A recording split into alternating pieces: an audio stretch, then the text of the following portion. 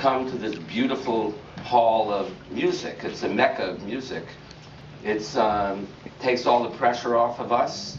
We get to sit back and relax and enjoy, as we just saw with this extraordinary film, this uh, singular talent uh, of Zucchero and the artist who he has worked with. And uh, it actually takes took me right back to the real reasons we all came out here, so many of us from Italy, from New York, because uh, we had to be drawn to other artists and to the work. So uh, this festival allows us a bit to get away from how we work all day and night because it is always 24-7, always. But to enjoy the art and to enjoy this supreme talent is uh, a rare, treasured experience. We thank you, Zucchero, and uh, the rest of you artists as well. So thank you very much.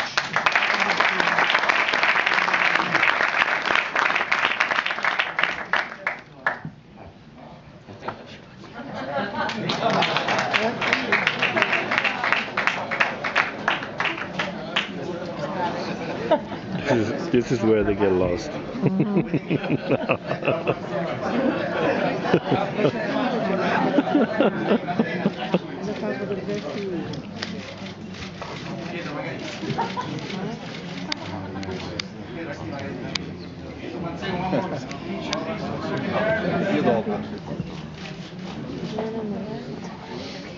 Grazie. Thank you so much.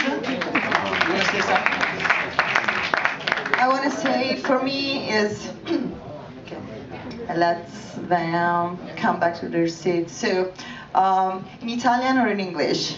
In English, okay. For me, it's such a big, big, big pleasure, big honor to be here and to give a tribute to 30 years of success of Zucchero.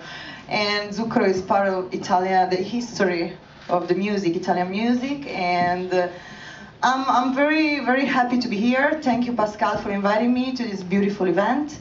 And I can't wait to hear, to listen to this big, big, big artist. Thank you.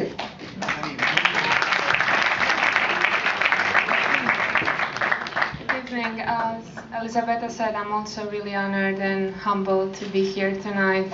All I can say after this uh, short film is that in my next life I want to be a rock star, that's for sure. I think it's an amazing feeling to have millions of people that just love you and you have an amazing career. I'm really happy to be here. One of my favorite songs actually is Dune Mosse. I know it's also your favorite song.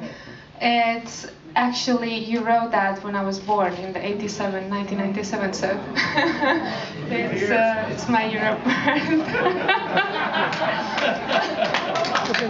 birth. You don't have to talk. Uh, Thanks for remembering us how old we are.